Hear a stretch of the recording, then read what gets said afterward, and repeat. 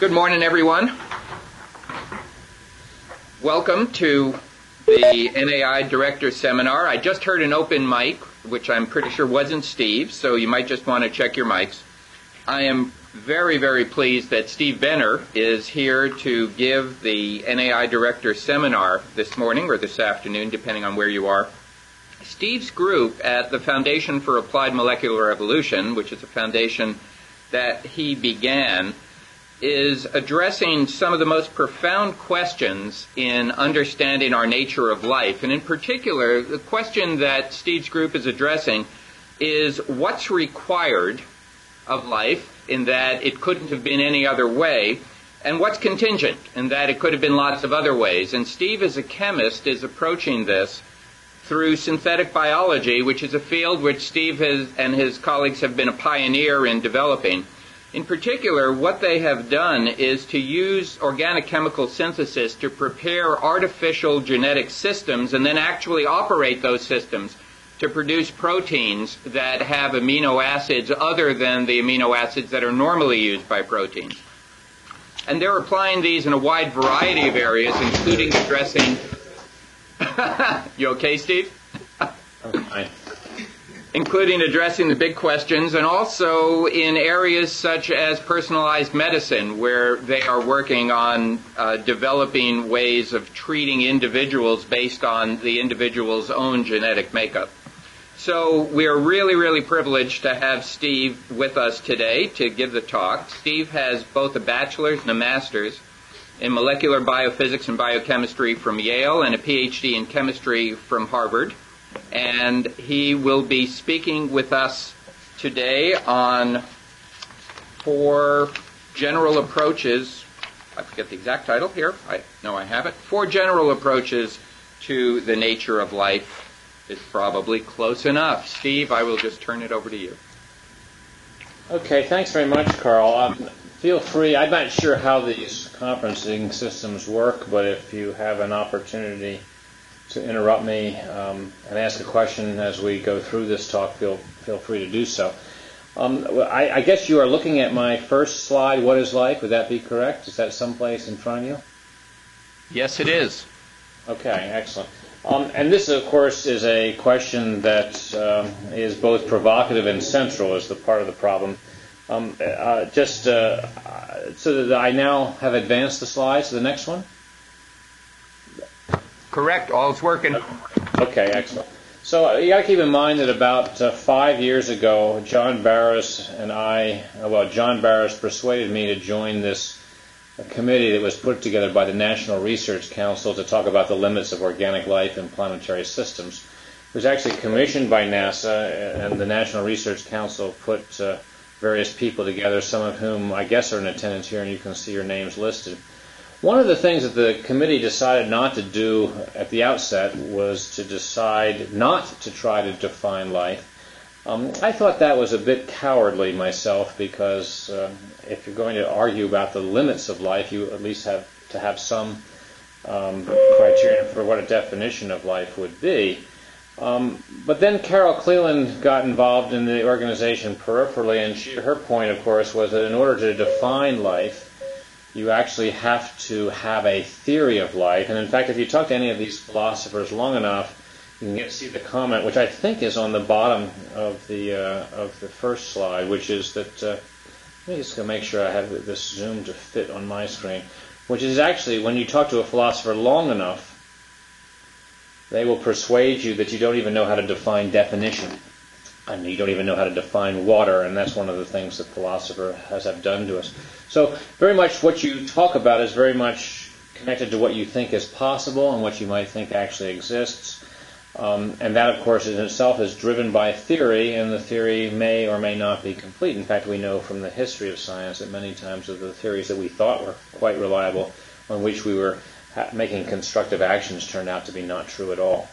So one of the things that we would like to do is not have a definition that is just a laundry list of the attributes of known living systems. And I, I pulled the, the list here out of a textbook. You know, the ability to reproduce, the ability to utilize energy, that you excrete waste, that you move, or you have the ability to respond to external stimuli It's all a laundry list of attributes. It's not really much of a definition. Um, that's not because biology doesn't have definitions, and some of them are now listed on this particular slide. So many of you, for example, especially if you're coming from the background of cell biology, know about the cell theory of life. There's obviously the evolutionary theory of life, there are various information theories of life, and there's various molecular theories of life. And these have operated over the last several hundred years. Certainly the cell theory of life has emerged after the microscope um, came along and therefore was able to identify a whole world of cellular life that was not visible to the naked eye. Well, so cell life theory of life is, you know, certainly one that's quite popular. It's actually used, for example, when people look for life in the cosmos, certainly in NASA missions. So uh, this is actually a, a, a, an older slide. This is actually from Hooke, who is looking at cork cells and in fact, he is the individual who came up with the word cell in English language because he was looking at what looked to him like small rooms or chambers, mostly in plants. Um, Schwann, of course, and Schleiden were uh, the people who actually um, looked at the unification of life um, in 1847. Actually, it was in 1840. This, this is actually an English translation of their book, which you can actually download from the History of Science Foundation in Berlin. And it's just in case you think that we put in the modern world a gloss on what ancient people were thinking 150 years ago, it's actually quite clear that these folks were actually trying to unify life in a theoretical sense. In fact, their whole introduction to this book is a discussion about how deplorable it is that people who study plants and people who study animals don't talk to each other. And what he's going to use is try to use the cell structure of both of these as a way of trying to unify life in some sort of a theory. Now, the fact that this is driving um, our, our idea of what constitutes life at a very fundamental level is the fact that a couple months ago, Protolife announced its plans, this was last August, to create artificial life in three to five years. This has caused quite a flurry in the press, uh, uh, not, not the least of which was because people thought it was dangerous. But what did they consider? Well, they put this picture out. This is a cell structure.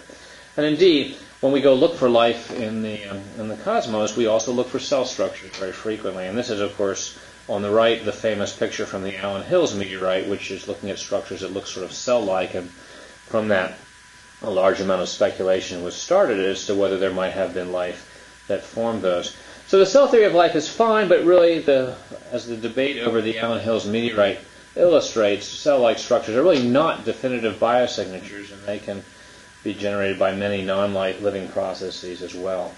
Well, I'm not going to dwell on the second theory. It's one of my favorites. It's sort of the evolutionary theory of life. This is the animal room at the Natural History Museum in Paris, where you can see people trying to classify all forms of life that they could find on, on Earth. Upstairs from this room, you can actually find the original fossils that Cuvier was actually looking at when he came up with his first concepts of evolution. And of course, Lamarck's statue is out in front of this building. What's quite clear is that the evolutionary theory of life as it is classically defined, has really not been as successful as it could be. In particular, it really did not identify the central fact that life on Earth is monophyletic, so it doesn't actually transparently um, uh, make obvious uh, that microbial life and macroscopic life are actually related by common ancestry, even though they have cells, because, of course, at some point, if you decide that life is a natural state and that cells are necessary for life, you're forced to this conclusion that if you have plants based on cells and animals based on cells, it could just as easily be the fact that those arose independently by conversions rather than by common ancestry. And so it really turned to molecular theories of life that, uh, to, to come up with the essential understanding of monophyleticism. You're looking just at three structures. The structure in the middle upper part of the slide is urea. This is the compound that was made in 1828 by Wohler, which is what discarded anti-vitalism, uh, discarded vitalism as a theory of life. Um, the metabolism in the lower left, uh, people are arguing that this is an essential feature of life. And in fact, if you go through the laundry lists that you learn in high school biology about what life is, the ability to take in energy and to secrete waste is all part of the metabolism definition, the metabolism concept of life. And then, of course, on the right is an, one of my favorite theories of life, which is the so-called gene theory of life, which is the argument that in order to have life, you have to have a molecule that contains information that can be passed from generation to generation.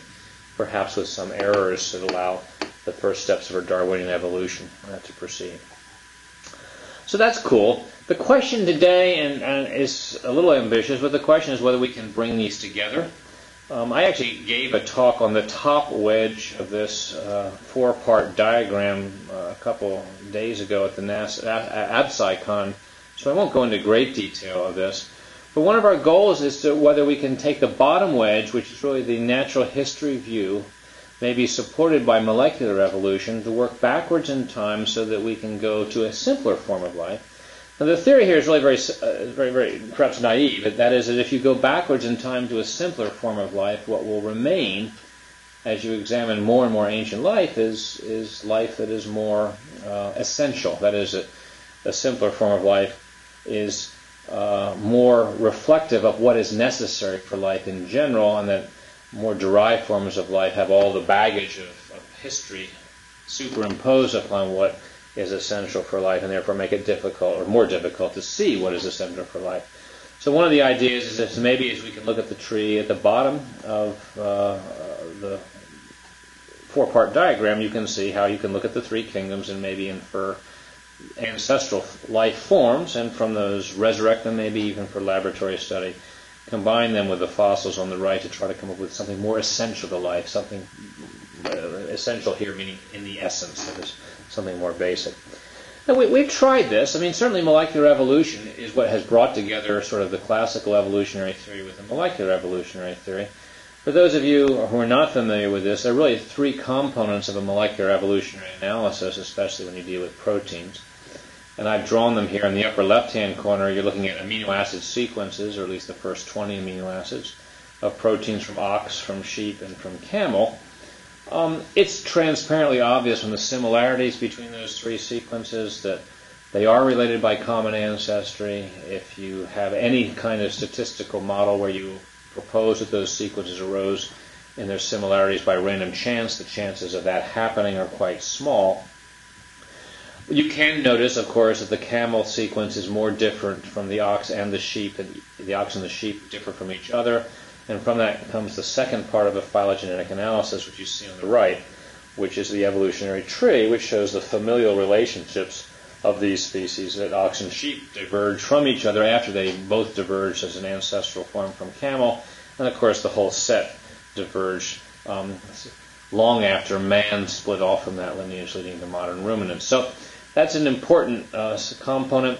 The third thing, which is not as often discussed, but it's been known for, I guess, ever since Linus Pauling and Emil Zuckerkandl in the 1960s proposed it, was that if you have the sequences of the descendant proteins, you can infer the sequences of the ancestral proteins.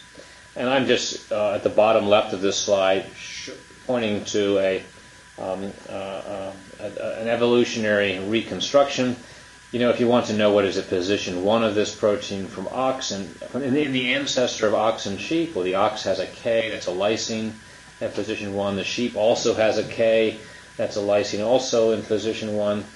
Therefore, it is most parsimonious, that is, it requires the fewest number of amino acid replacements to assume that the ancestor also had a K or a lysine at position one.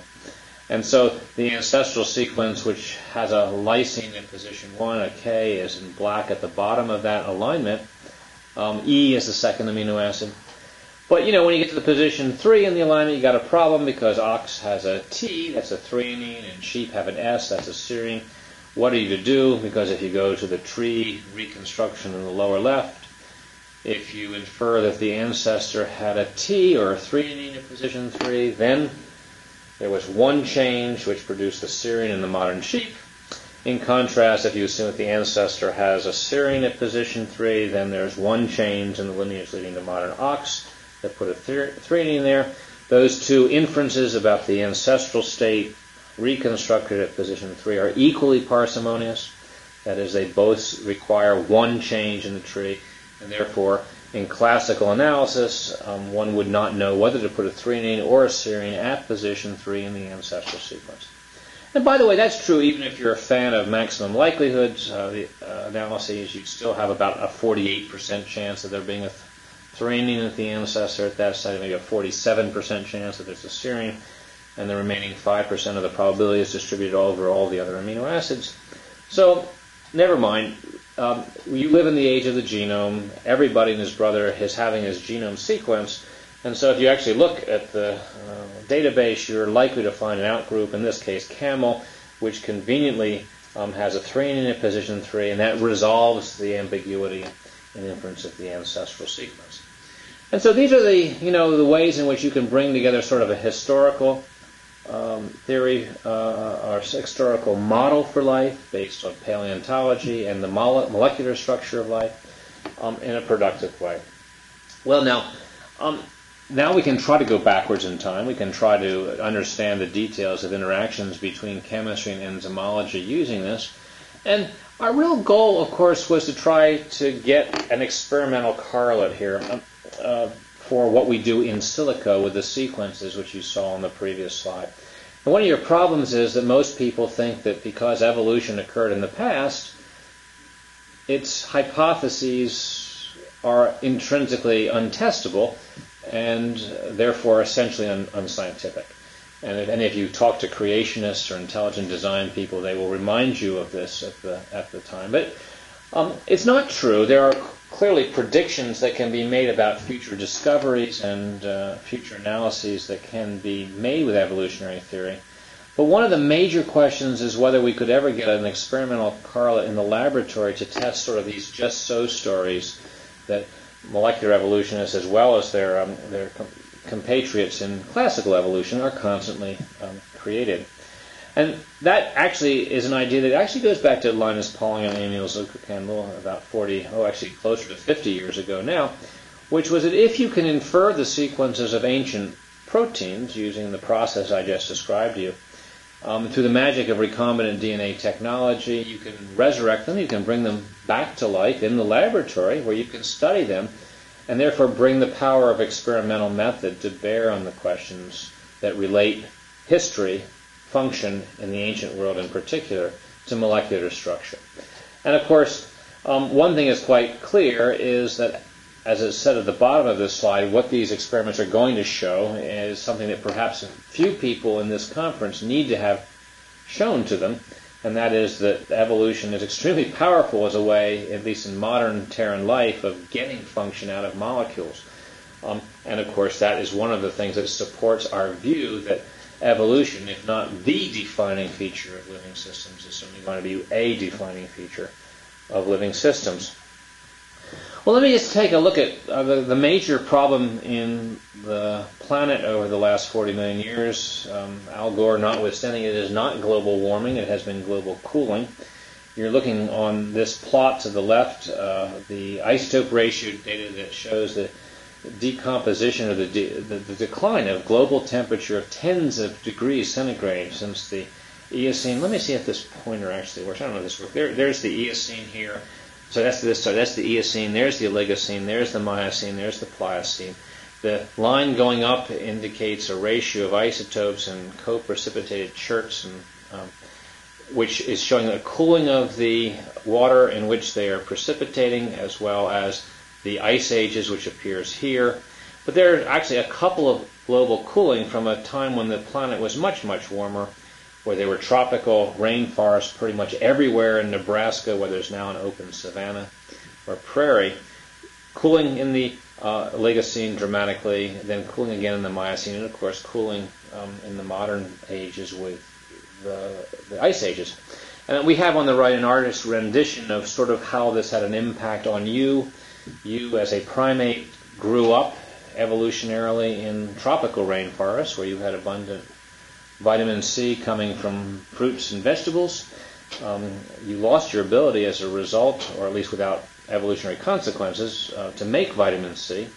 Uh, when the planet cooled and dried, the rainforests went away. The primates who were making quite a good living in the trees, even as far north as Scandinavia, all of a sudden had their source of vitamin C as well as other things removed. And so what happened, of course, was an extinction of primates over a large range uh, part of their range until you came along as a uh, tool maker and able to sort of take over the planet despite the global cooling. The global climate change should actually drive many things, and this is a word from Lynn Margulis referring to planetary biology. You're talking about the interaction between the planet and the life form. And one of the things it drove was what you can sort of see in the back of this savanna, which is the emergence of grasses. Grasses really were not present um, uh, more than in any large abundance more than 40 million years ago. Um, in fact, when they shot Jurassic Park, they had a hard time getting an authentic background without grasses, which have taken over the place. But for those of you who have never eaten grass, you can should know that the grass is about um, 25% silica. It's a low nutrition source, and one of the impacts of grasses taking over large parts of what had previously been tropical or semi-tropical forest was that it drove the emergence of a new kind of animal. And I've already mentioned them. They are the sheeps, or the sheep, um, the oxen, and the camels. These are animals that uh, can actually eat grass and, and make a living at it. Well, they don't actually eat grass. What the oxen do is they collect the grass. Um, that's a low nutrition food, uh, arising because of the cooling in prairies about 40 million years ago, and then, of course, really in the Miocene. After the ruminant collects the grass. They feed the grass to uh, bacteria that uh, are growing in their first stomach. And then they, of course, cough up the bacteria from time to time and chew it, which gives the classical ruminant um, physiology.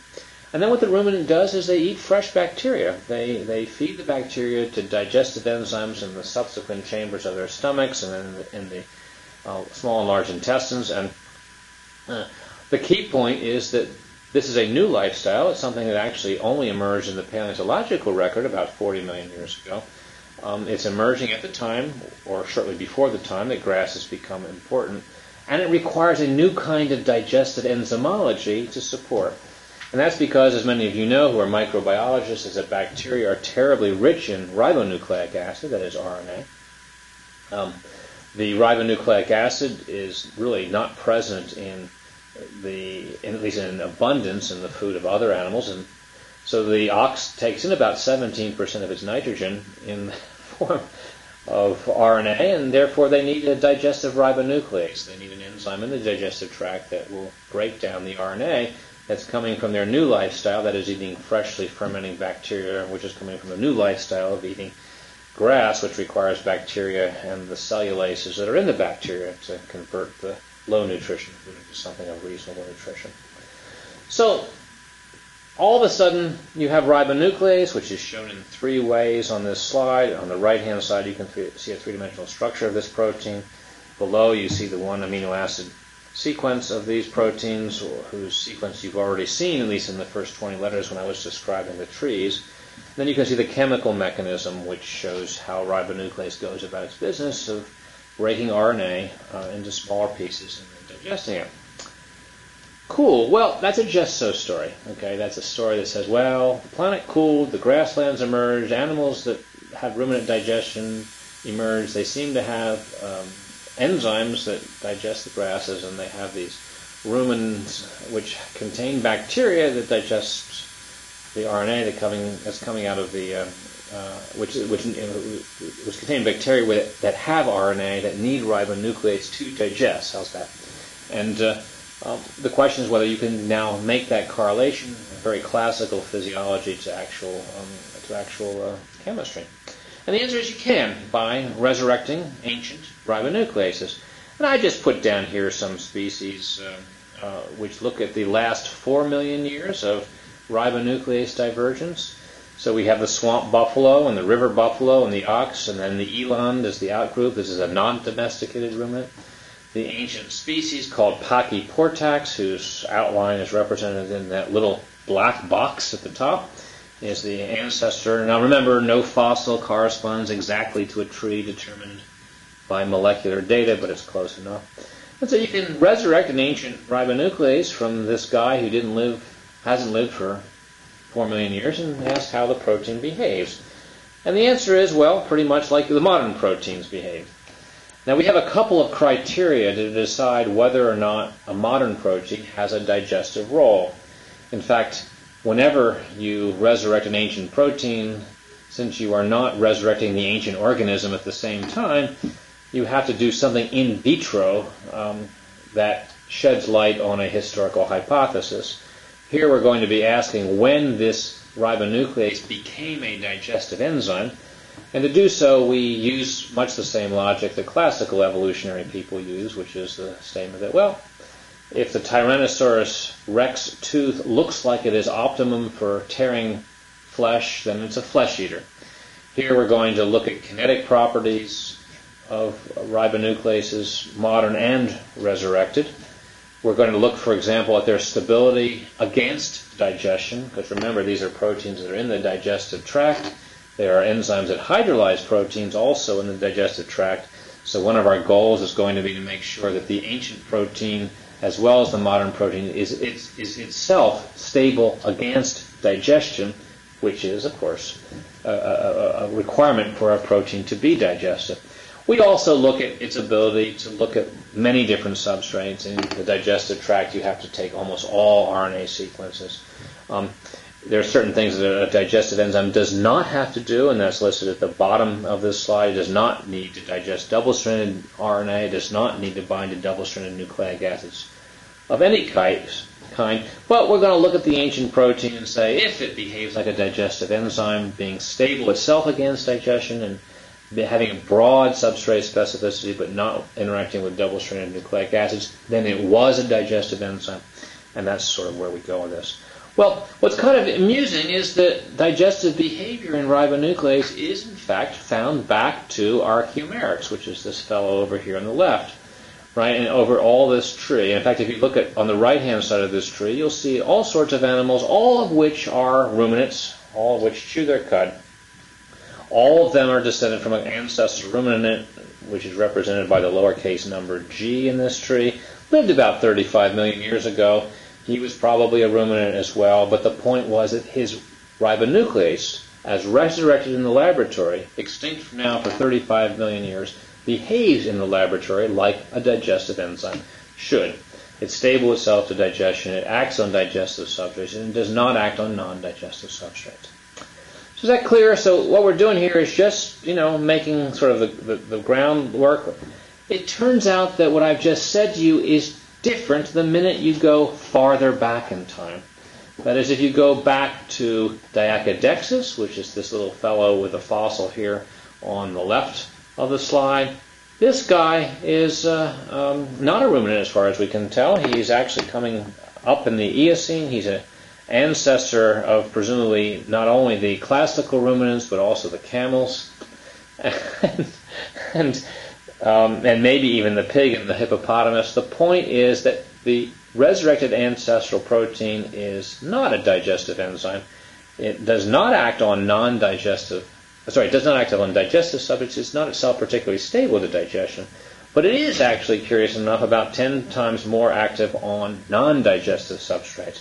There's a whole story about what that enzyme was doing back in that organism, but it was not digestion. So, okay, so fair enough. That's a way in which we play to to uh, to uh, show how effective evolution is to manage, in this case, global cooling. Um, you know, it's not getting us all that far back in time to a more essential or a life form that is more representative of the essence of life. In fact, the Diacodexis doesn't look well, he looks like half sheep and half pig, but uh, he's not in any sense primitive. To get something primitive by the strategy of going backwards in time, we've got to go back a lot farther. And for this, we have uh, had a marvelous collaboration with Eric Gaucher, who's also here at the foundation. Um, we looked at elongation factors, and it's a it's a great protein because, as many of you know, there's its structure, but it happens to be present all over in all sorts of life forms, all three kingdoms of life. It was present um, uh, in the last common ancestor. It is used to assist delivering of charged transfer RNA to the ribosome. And we can therefore, because it's everywhere and because it's highly conserved, we can infer the sequences of the ancient elongation factors from its descendants. We also have an in vitro assay, as I mentioned. In order to, when you resurrect something ancient, you're not going to have the ancient organism as a context, but at least following the idea that the, the, the, present is the key to the past, it's true that the temperature that the elongation factors work optimally in modern bacteria are the temperatures at which those bacteria live. I mean, just to show you an example of that, this is a GTP binding assay for the elongation factor isolated from E. coli, which is living in your gut comfortably at 37 degrees centigrade. The enzyme, the elongation factor, works best at 37 degrees. That's what the maximum of this plot means. Um, that's the temperature where it lives. And of course, if you go to thermus, which is living at 65 degrees, and isolate the elongation factor from that, it has a max, as we did, the maximum binding temperature is about 65 degrees as well. So that means that if you have a the ability to get into your hands the elongation factor from any ancient bacteria that you're interested in, you have the ability to infer the temperature at which that ancient bacterium lived. And um, Eric and uh, Mike and a few other people working in the lab went back and did that. Keep in mind there's an enormous amount of ambiguity in the trees that you infer for in this particular case, we only were able to go back as far as deep into the eubacterial tree, and then there's all sorts of questions about where Aquifex trees, and there's all sorts of issues. But we looked at a couple of trees, and we sampled a couple of sequences to represent the ambiguity. The idea here is to try to determine whether the interpretation of the result, that is, the temperature optimum, is ambiguous with respect to the ambiguity in the evolutionary model, or conversely, to try to determine whether or not the inference, in this particular case, that the ancestral bacterium lived at 65 degrees is robust with respect to ambiguities in the trees the inferred ancestral sequences and the like. And so the green line was with one tree. You can read the paper, um, uh, which we call PSA. The blue line was a different tree, MLSA, and um, the uh, the uh, uh, uh, result was quite the same. The ancestral protein had a temperature optimum also at 65 degrees centigrade, indicating that at least for the part of the tree that we have sampled, uh, oh, sorry, to be more precise, at least for the tree space that we have sampled and the ancestral sequences that we have sampled, the conclusion that the ancestor was a thermophile, but not a hyperthermophile, is reasonably robust. Well, since that time, Eric has gone back and looked at resurrected elongation factors throughout the tree. This is just extracted from a recent paper that just came out a couple of weeks ago in Nature. Um, you're looking at temperatures everywhere. And if you're interested, for example, as I mentioned at the bottom, the temperature when the plants acquired chloroplasts, it's around here somewhere. Um, it's over here someplace. Or when the mitochondria became an endosymbiont, you can go look at this tree and get an idea of the temperature history, at least in eubacterial lineages for which we have descendants. Well, all right. There's a big disappointment here. I mean, obviously, I mean, don't get me wrong. I'm delighted to know something about the temperature history of life on Earth, and to the extent to which this record made uh, by inferring the sequences of ancient proteins and bringing them back to life in the lab correlates with geological records, it's delightful. And Don Lowe and, and Paul Knauth have come up with geological statements as well about this temperature history. But of course, we're still not back to essence. As far as we can tell, in metabolism, the ancient eubacterium is, I think it's probably simpler than the modern diversity of bacteria in the modern world, but it's still reasonably complicated. It still is a fellow who is able to make proteins by translation. It still is able to, you know, do wide ranges of metabolisms. It's in no sense primitive, and it's in no sense origins. So, so while we've gone back in time, we've and gotten a lot of interesting data, um, and you can review a lot of this. Um, uh, um, we aren't yet to origins, we're certainly not to essence. But never mind, we've managed to make some progress. We certainly have dealt with this so-called philosophical challenge that I mentioned a few moments ago that most scientists really don't view historical hypotheses as being inherently non-scientific. In fact, if you talk to most molecular biologists, you don't really get the impression that they have a constructive belief in evolution, right? They, they, they'll tell you they believe in evolution, but it doesn't really influence how they carry out their professional lives. And so, certainly, if you can go back and infer structures of ancient life forms from the structures of their descendants, we can come up with some of these stories, one of which I've mentioned to you. Um, I haven't mentioned some of the others that you see here. Cool. Well, all right, not much simpler, not much in essence, and so um, we certainly are prepared to go in the direction that Jerry Joyce who's one of many authors of this so-called NASA definition of life as a chemical system capable of Darwinian evolution, we've now gotten chemistry and evolution together into our theory of life. Um, uh, by the way, we don't have cells there, um, and, and it's an interesting question as to whether they belong there. But of course, you can ask the question: if it's that simple, right, the essence of life is a chemical system that can do this Darwinian game. How would you establish um, this, given that paleogenetics really cannot take us back to a truly essential life form? And that we're also, by the way, having difficulty with this top wedge, which I discussed uh, a week ago at the AbSciCon, which is that we're still flailing around trying to get the pieces of origins together in a way that ties origins with what NASA is telling us about what's out here in the left wedge.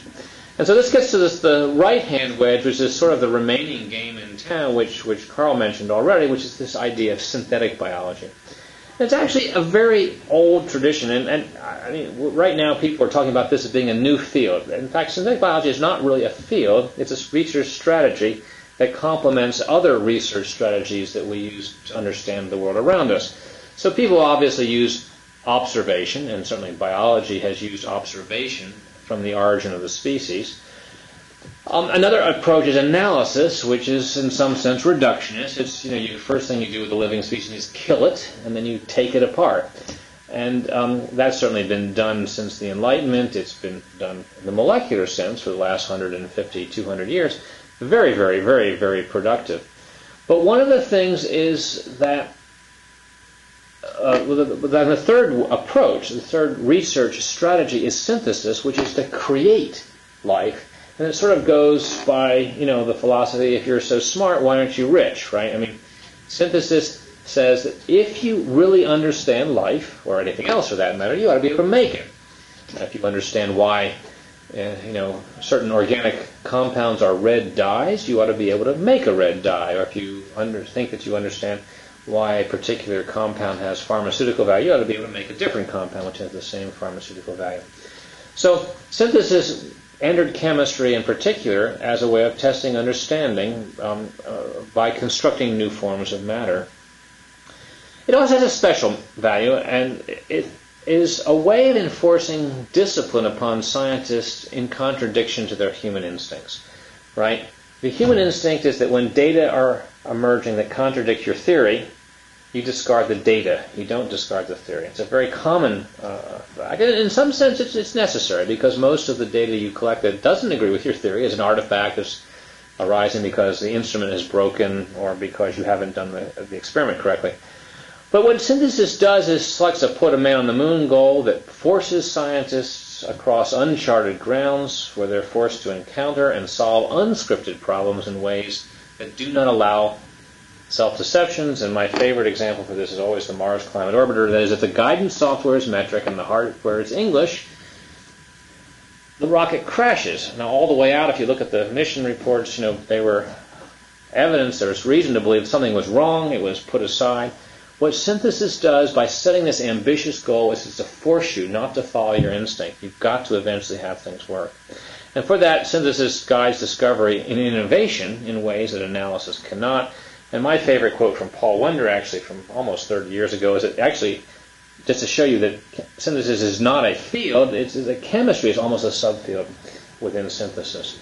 Now, chemistry has taken tremendous advantage of that because we are able to make new forms of matter uh, through synthesis as well. I mean, imagine how much easier it would be to do geology and to test a theory of plate tectonics if you could, you know, like Hitchhiker's Guide go to Magrathea and have them make you a new planet with a slightly different tweak that you could then study to see whether your theory held out uh, held true. Uh, here you're looking at four structures. There are four different molecules to an organic chemist. Every one of them has meaning. I've already mentioned the one in the upper left-hand left-hand corner. The synthesis of urea was what led to the downfall of vitalism. Um, this molecule here, cyclooctatetraene, brand new synthesis by Willstätter, it, it, it, uh, it uh, forms the underpinnings of modern understanding of aromaticity, a, a, feature of benzene that you were forced to learn when you took organic chemistry. I mean, this structure all the way over here is vitamin B12. It was through the attempted synthesis of that, and, and you might imagine that making that molecule was indeed putting a man on the moon. It was a difficult molecule to make. But the wor- principles of orbital symmetry emerged from that synthesis. As scientists were dragged kicking and screaming across uncharted territory, they encountered problems. They tried to make that molecule, and their failure to solve them with existing theory forced them to come up with new theory. Well, the same thing is for life, okay? Um, and certainly when we started going back and trying to understand the gene theory of life, one of the questions you have to ask yourself is what is the chemical structures necessary to support a gene that will then support Darwinian evolution, which will then support life. And one of the things that we made was the compound, not the left hand compound, but the next one in. The left compound, of course, is natural DNA. What we made was natural DNA with a repeating negative charge has been replaced, replaced by a structural unit, these S double bond O, S double bond O, which is very similar in structure to the phosphates that join natural DNA, but which lack the repeating charge. And if you go back and read this article, as well as articles that followed it, um, when you replace the repeating charge in a backbone of DNA by a non-repeating unit that is otherwise hydrophilic, the molecule ceases to support molecular recognition, rule-based molecular recognition. After a point, these molecules here actually will work as small fragments, but when you get to a longer fragment, the things start to fold and you start to have non-genetic behavior.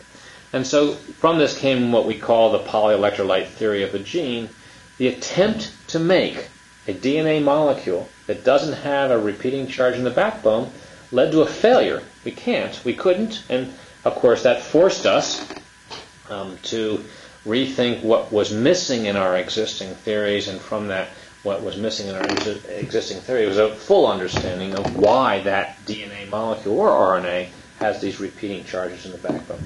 They turn out to be very important for the rule based molecular recognition properties that are essential for inheritance, that are also essential for evolution, and that's captured under this idea of a second generation model for DNA structure. It also provides a way for which you might look for the universal gene, not just the gene on Earth, by looking for not the basis, which we have shown and we'll show you in a minute, are variable, but by looking for the backbone repeating charge that, under at least the polyelectrolyte theory of the gene, is required for all genes to work. Well, cool. It's clear that other things don't require, as, as Carl mentioned in the introduction. I mean, there you are. There's your four bases the bases under the Watson and Crick theory of the gene were central. The backbone phosphates were peripheral. Well, we now know that the backbone phosphates are quite central. The bases are actually, although not peripheral, are certainly less central in the sense that they can certainly be changed a lot easier. Actually, it's a good test for the students in the audience to look at those four structures. I have C, G, T, and A, but you'll notice I only have A in quotation marks. The others are not in quotation marks. And that's because the structure of A has actually already been changed from what is present in your DNA, and all the students should now mention to the person sitting next to them in authority why that structure is wrong or different. It actually is better. Um, I'll pause for two seconds. That's enough pause, and then direct your attention for those of you who didn't know the answer to this amino group down here at the bottom. That's actually not present in adenine. God made a mistake when she made this compound. She left that off. And that's why adenine and thymine forms only two hydrogen bonds, not the three hydrogen bonds that hold together a GC-based pair. Well, one of the questions, of course, is again, you know, if you're so smart, why don't you just design a new genetic molecule? And I've already told you that we failed once. We're not smart enough to design a genetic molecule where the repeating negative charge has been removed. But we turned out to be able to design um, a uh, new genetic system where we've shuffled around the hydrogen bond donors and acceptor groups. Let me just point out the Watson-Crick rules for those of you who are, are students, right? Um, the Watson-Crick based pairing rule is following this two rules of complementarity. One is a size complementarity principle, that is, that large things pair with small things, a big purine pairs with a small pyrimidine. The other rule is that hydrogen bond donors, which I have here as these red hydrogens, pair with hydrogen bond acceptors, which I have as the blue nitrogens and oxygen. So C, as a small thing, presenting a hydrogen bond red, blue, blue, that's a hydrogen bond donor, acceptor, acceptor. Pairs with G, a big thing, having a hydrogen bond acceptor, donor, donor, blue, red, red. And that is how you get two base pairs. Obviously A and T, even with the amino group down here at the bottom, have the same size complementarity. It's just that the hydrogen bond patterns are different. Uh, with T, it's blue, red, blue, and with A, in this modified form, it's red, blue, red. And so that means that this big thing, A, does not pair with C, and this um, big thing, G, does not pair with T. Well, by switching around, by shuffling, um, uh, by uh, moving the red things and the blue things, the hydrogen bond donors and acceptors back and forth, you can conjecturally create a new form of genetic substance. But of course, synthesis is how you test that conjecture. And so you make all these compounds, and you discover that yes, indeed, you can uh, make many of them, and you can do what we do in DNA synthesis is we measure melting temperatures of DNA strands that contain funny things. I just put up a whole bunch of stuff here, which includes all of the uh, base pairs that we've made, which contain three hydrogen bonds between the big thing down here and the small thing, the big thing and the small thing. This row contains base pairs between big and small, but there are two hydrogen bonds because we leave something off at the bottom, or here we leave something off at the top, or here we leave something off at the bottom, another thing off at the bottom. Here's something joined by exactly one hydrogen bond. And we have all sorts of other structural parameters that I won't go into discussing, but you can read about in this paper that we uh, wrote about five years ago with, with Ryan Geyer that creates rules. So if you want to go back and design your own artificial genetic system, um, if these rules are correct, again, this is a synthesis proposition or a synthesis testable proposition, you ought to be able to make anything following rules. But one of the rules is that, yep, um, three hydrogen bonds is better than two, and two hydrogen bonds is better than one. That's what's shown in this particular diagram, where you're looking on the left at melting temperatures of some representative samples. The red dots are melting temperatures of species. We have a base in the middle, which is joined by three hydrogen bonds. The yellow dots in that diagram are uh, measuring melting temperatures of species which are, contain base pairs joined by two hydrogen bonds, and the black are either mismatches or one hydrogen bonds. And you'll discover that three hydrogen bonds is better than two, which is better than one, that is red dots are better than yellow dots, better than black dots. Even when, when you have size complementarity, that is a purine pairs with a pyrimidine, that is big pairs with small, but it's also true to some extent when big pairs with pig and um, small pairs with small. So we have some relatively stable pyrimidine-pyrimidine pairing, even when you have um, a small thing paired with small thing that is not size complementary. But if you have three hydrogen bonds joining them, they, they still work pretty well. Well, that's kind of cool. Now, I'm not sure how many chemists there are in the audience, and I, I put these two slides up just in case people are interested in how you go back and do this, right? We don't get the right answers right the first time. We identify trends, we rationalize exceptions, we test hypotheses. So as I mentioned, we had a small thing pair with a small thing in a non-size complementary fashion, joined by three hydrogen bonds. But, you know, this is actually more stable than we expected it to be based on trends. And part of the reason we think that's the case is because this base has a positive charge on the nitrogen that's being indicated here. And a nitrogen with a positive charge seems to be good in the, the stacking of a base pair. It turns out that if you put a negative charge, as we have here on this red, blue, red thing, it's less stable. And um, from that, you come up with this rule that you're not allowed to have an anion or negative charge in the nucleobase stack, even though you can have a positive charge.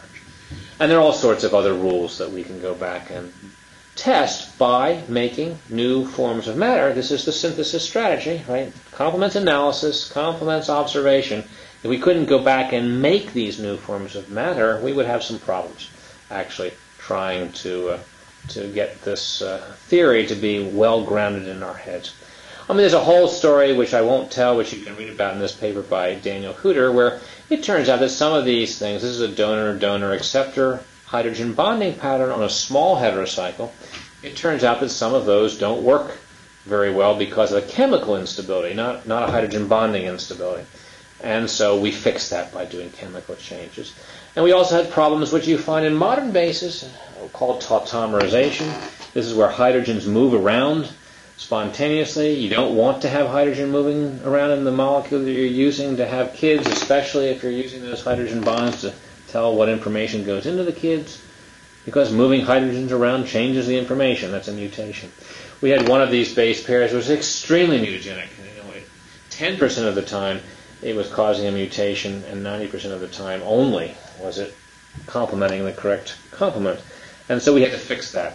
So you can see all sorts of ways in which synthesis is demonstrating this predictive manipulative control over base pairing using this sort of meta language of organic chemistry.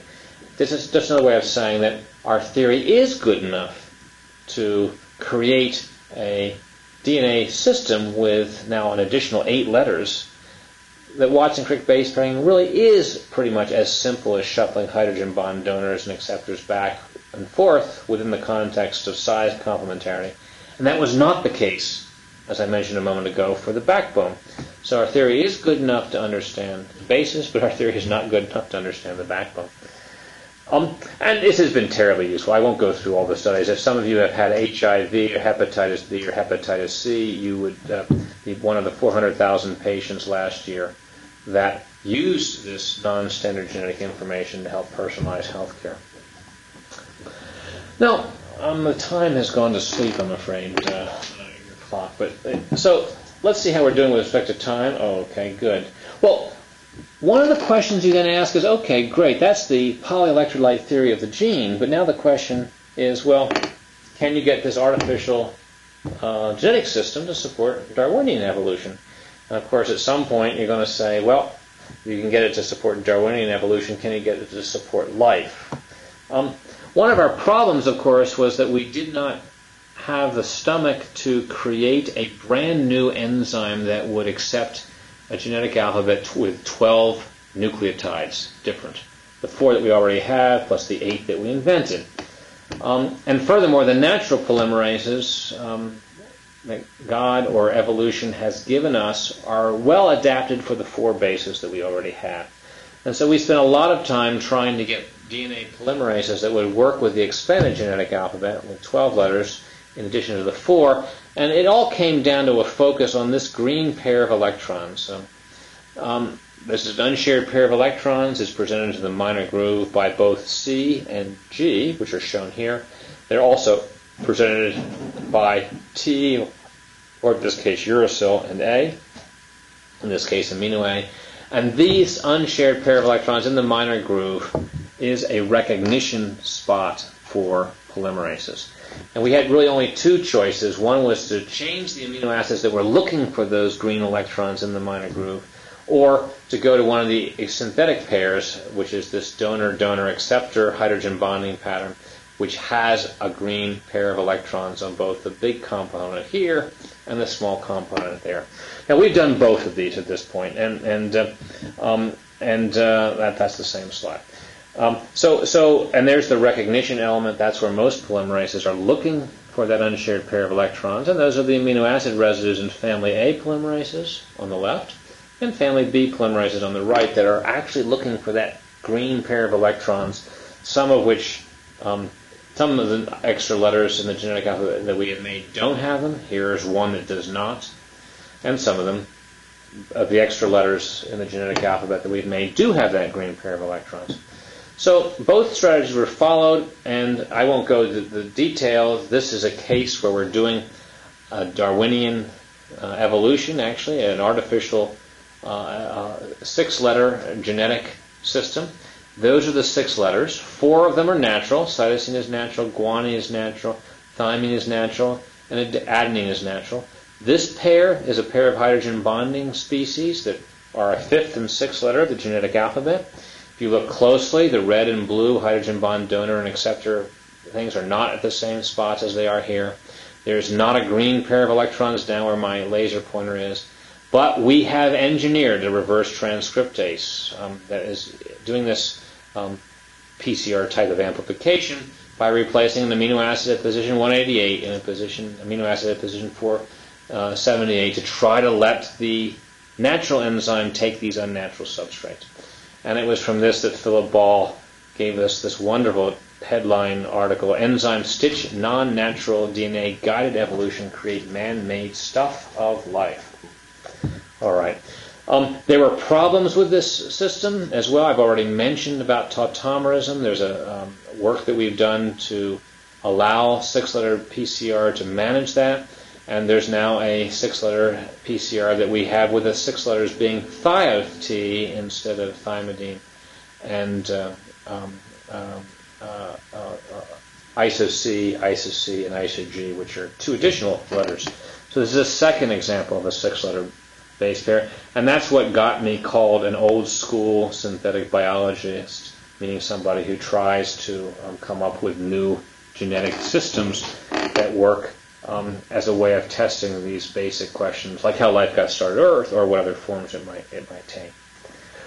There's still, for those of you who are interested, the uh, just to close the circle, we do have now a case where um, uh, we actually have done a six-letter PCR. This was just published last year, where there's an unshared pair of electrons, the green electrons in the minor groove, which is where the laser pointer is pointing right now.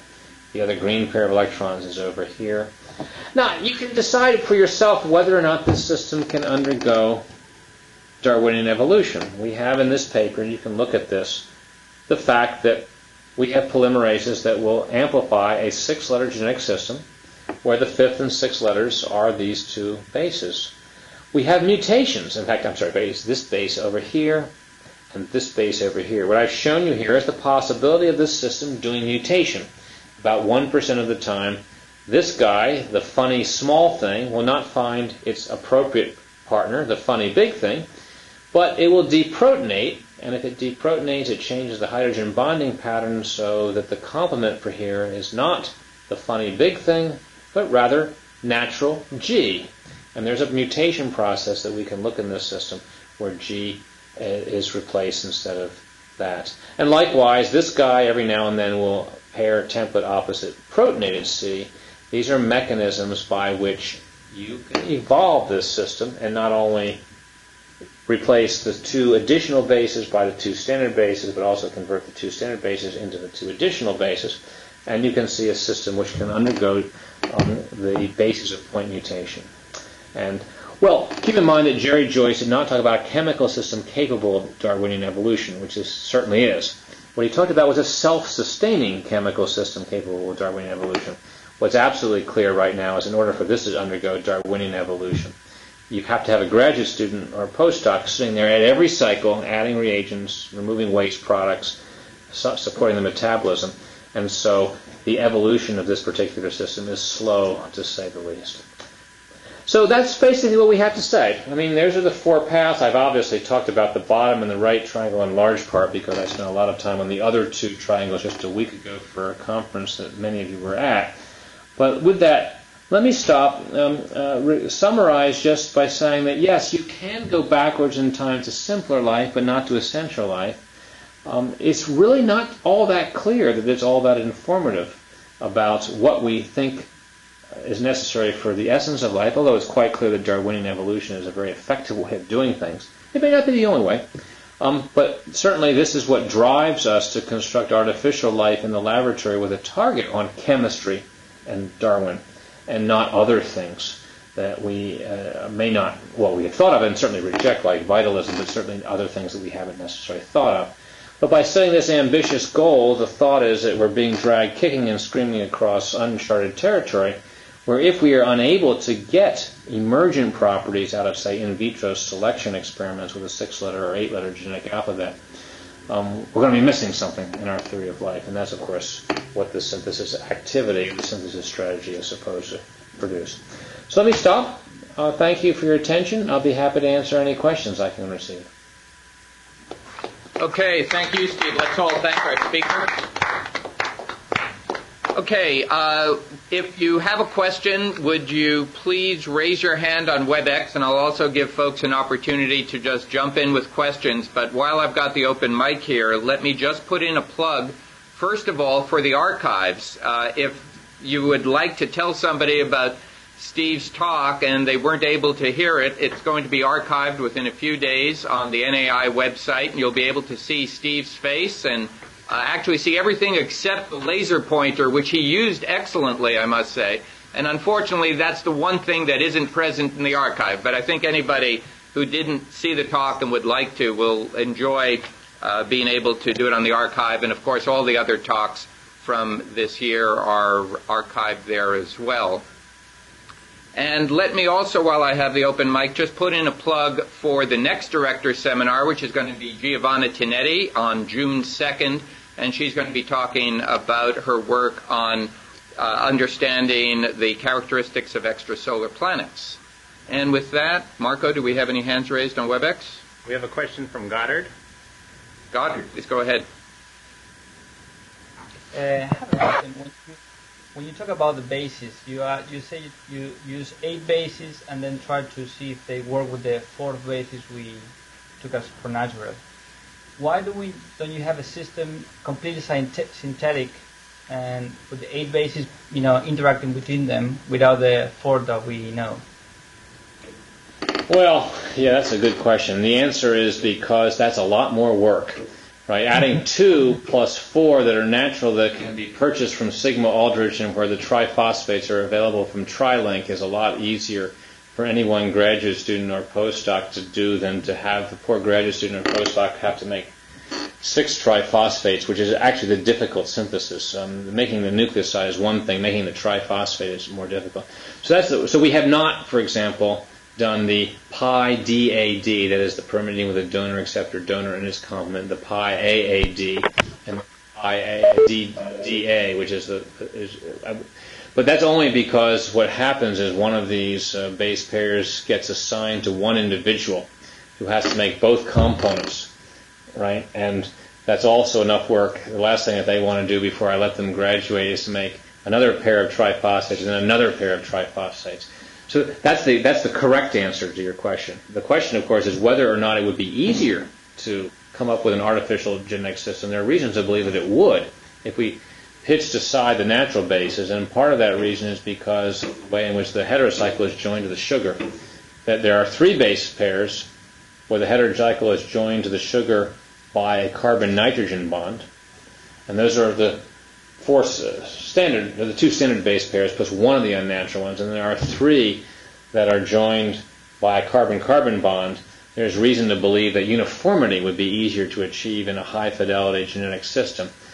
Unfortunately, all of the systems that are joined by carbon carbon are the non standard bases, which would require somebody to actually make them all at the same time but the, but that might very well be an easier system to implement. So there are reasons to think that the chemical properties, which are distributed unevenly across these 12 letters in the genetic alphabet, would we would be find it easier if we were to pick and choose in a way that does not include four standard and two non-standard. But just from the point of view of beating a poor graduate student into making them or right a postdoc the same, that's why we do it. Okay. Okay. Thanks. We have a question from Colorado. Hi, can you hear me, Steve? I can. Oh, good. This is Carol Cleland. I enjoyed your talk. Hi, do, Carol. Hi. I have a question about using microbial paleogenetics to infer things about the earliest forms of life. I noticed you didn't talk about lateral gene transfer, which makes it, I understand, and perhaps I'm wrong about this, difficult to infer what the very earliest forms of life were uh, like, microbial life.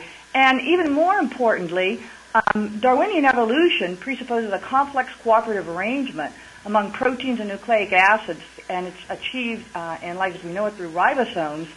And so Carl Woese and others have argued that you know whatever life came earlier couldn't have been able to do Darwinian evolution. There must have been some kind of a progenote, which he speculates might have done something like Lamarckian evolution. So I just wondered whether you view these as problems uh, for uh, the idea of microbial phylogenetics, uh, microbial paleogenetics. Yeah, I, I, I, do, and they're big problems. First, I, I don't think it. I'm trying to avoid saying. I hope I did say that all that we were really doing was going back deep into the eubacterial tree, which is really all that we've done with the elongation factors. We actually are nowhere. Well, I don't know how close we are. We're we're, we're not at the last common ancestor of archaea and eubacteria, for example. Um, the, the, the, the catch to that, of course, is that, as I mentioned, we haven't gotten into any sense a essential form of life. We still do rely on the uh, on two things actually. We rely on the definition of the tree, and here that tree is being really defined as the ribosomal tree, but it's really the elongation factor tree, right? Which happens to have very nice congruence to the ribosomal tree. So we're not looking at least lateral transfer of, of, of elongation factors and their, and their immediate co-substrates or coenzymes. But what, what is quite clear is that we do not necessarily um, have a speciation concept. We have defined basically the species tree as the elongation factor tree slash ribosomal RNA tree. But look, one of the big questions about Darwinian evolution, frankly, and what we have not addressed, and I guess I was trying to say this, but I didn't say it effectively in the talk, so let me try to say it effectively now. And that is one of the big questions about whether or not life can be simply a chemical system capable of Darwinian evolution is whether you do need to have both proteins and nucleic acids to have Darwinian evolution. So, about seven years ago, we wrote a paper for, for a NASA book white paper where the argument was made that uh, we didn't have, uh, well, that a genetic molecule was going to have a hard time being a catalytic molecule, and a catalytic molecule was going to have a hard time being a genetic molecule. Why? Well, because a genetic molecule templates, where a catalytic molecule folds, and a genetic molecule tries to have the same physical properties regardless of, of uh, building block substitution, whereas a catalytic prop- molecule needs to have different properties as a function of building block substitution. And so all these things were because you had to have a property A for a genetic molecule and a property not A for the catalytic molecule and vice versa, it was actually very hard to conceive of molecular systems that could do both catalysis and genetics. But RNA, which has certainly uh, the ability demonstrated to do both, was actually quite special in the world of biopolymers. It really is hard to find any other biopolymer that does a good job of both folding when it wants to and not folding when it doesn't want to, or changing in physical property when it wants to and not changing physical property when it wants to. And so the one essence of Darwinian evolution that is really missed right now, and it is missed for sure in this going backwards in time, is whether a single biopolymer can support Darwinian evolution. And so help me God, the answer to that question, which we found entirely satisfactory 20 years ago, was that yes, that molecule is RNA. It did so on early Earth. Problem solved. Okay, it's unfortunately not an acceptable answer 20 years later. Right now, we have had the most miserable time getting. Well, I mean, obviously Don Burke and various people. There, there's a large number of people, Jack Szostak, Jerry Joyce, who've gotten catalysis out of nucleic acids, but it's been extremely difficult to get an RNA molecule that catalyzes at great length template-directed synthesis of RNA Pete Unrau and his student Hani Zaher have come closest, or they've done the best job today. Um, and it's been extremely difficult to find evidence out of the paradox that a genetic molecule must do X and a catalytic molecule must do not X. Further, when RNA wanders into a region of highly G-rich sequence space, it tends to fold. It doesn't tend to display rule-based molecular evolution anymore. So your question is spot on. We where the big puzzle right now is between the molecular description of evolution, the essence of life, and then evolution as we know it in the modern world is whether or not what we get in the modern world can be gotten with a single biopolymer. I'd be a lot happier if A, we could make RNA from prebiotic precursors in high yield. We can make it half baked. I would be a lot happier if we can had an RNA molecule that with facility catalyzes the synthesis of RNA, especially if it had a complete cycle. I'd be a lot better, happier if we had a reasonable mathematical or theoretical description of how catalytic power is distributed within RNA sequence space. I'm sure any of you have this, go right ahead. Okay, there aren't any more hands raised, so if anybody would like to just jump in with a question, this is an opportunity to. Hi, Steve. It's Lisa Pratt. Um, I, am particularly interested in um, this this sulfur anchored backbone, and wondering if you can can say anything about what happens if you get away from from circumneutral pH conditions. If we were to think about uh, early evolution in a very acidic environment, can we uncouple ourselves from phosphate backbones? Yeah, yeah, but that's a very good question. Um, we, we, there's a paper that we wrote for again one of these NASA things, which uh, discussed life at very low pH and life at very high pH, and it's it's absolutely certain that you must get away from certain features of natural nucleic acids, standard nucleic acids, standard Terran nucleic acids, if you wanted to go to higher acidity, for example. Uh, certainly DNA doesn't do a very good job at high at high acidity. At low pH, the, the bases fall off of DNA, and this becomes a horrible mess of depurination and depyrimidinylation. Um, it's an interesting question. In fact, it was the, it was the talk of, that I gave, I guess, with, with Andrew Pohorille's session at the ABSCI conference as to whether you could get away with the repeating negative charge by having a repeating dipole where the positive ends of the dipole were all tucked inside the molecule and the negative ends are outside, so you sort of had an effective charge without, without having a net charge. And we were actually focused more on Titan as the place because there you have to go to high pH, you have to go to a more hydrophobic solvent, and you have to go to lower temperatures. And so the idea is the short answer to the question is, of course, we don't know, but the speculation was that you could get away from this polyelectrolyte model for the backbone at low temperatures in hydrophobic solvents where you just couldn't tolerate. I mean, you can't dissolve a repeating charge in, in a solvent like methane uh, at any temperature. But the idea was, yes, you might be able to get away from it that way. The higher acidity um, conditions that you find in the, in the solar system, like Venus, for example, are of course also very polar. So you wouldn't need to get away from um, the higher acidity. Uh, the, need for I mean, sulfuric acid will dissolve a polyelectrolyte just fine, like it will dissolve most things. But then, of course, you really have to worry about the acid-base properties and the acid stability of the of the of the acid-base properties of the bases, paradoxically defined the nucleobases. Um, and yeah, we had proposed a whole number of C glycosides, carbon glycosides, which would be stable under Venusian atmosphere type pHs, but they would still have the repeating negative charge in the backbone. You only really need to get away from that repeating charge if you go to a hydrophobic solvent like what you see on the surface oceans of Titan. Um, and then your problem is, frankly, that nothing dissolves at the temperatures of the surface oceans of Titan. That was the point that William Bains made in his talk at the ABSCI conference last week, that anything cold is a bad solvent, not because it's a bad solvent, just because it's cold. And, uh, and so uh, managing surface genetics, genetics in the ocean, surface oceans of Titan is going to be a problem. Steve, this discussion reminds me of a uh, talk at the last Origin of Life Gordon Research Conference in Ventura that was given by Felisa Wolfe-Simon and I think Ariel Anbar and, and, somebody else who may very well be on this net uh, were co-authors, uh, in which she was talking about the possibility of arsenic substituting for phosphorus. And I'm just wondering if these approaches of, of synthetic biology enable you to investigate the theoretical possibility of a system which is fundamentally different in this other way or some other ways, for example, with arsenate substituting for phosphate? Well, I mean, as a good organic chemist, I would say not only is this strategy of synthesis uh, a way of investigating that question, it's a, it's a necessary way of investigating that question. That is, there's no proposal for that hypothesis in the chemical community that will meet the chemist's standard of proof that will be acceptable to the chemical community. All, that is absent of an experiment where you try to make the DNA that contains arsenate in the backbone. And, and of course, when Felisa first mentioned that to, to us, and Paul Paul Davies also, um, we uh, went out and tried. We tried to make some of it.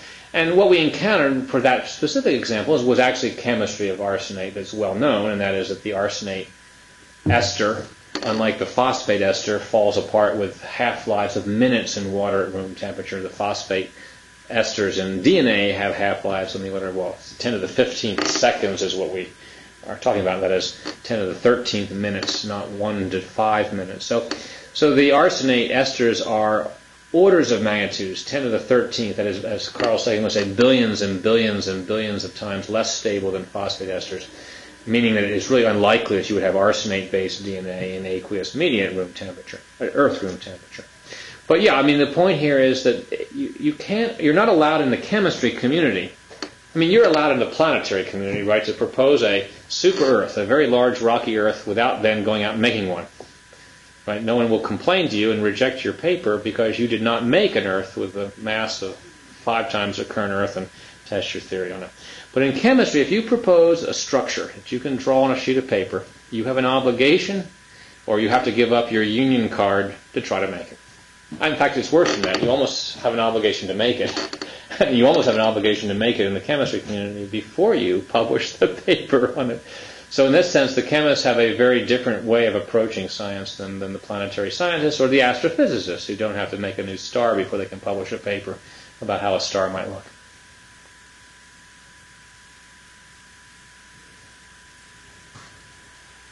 Thanks, Steve. Uh, any further questions? Please just jump in if you have one.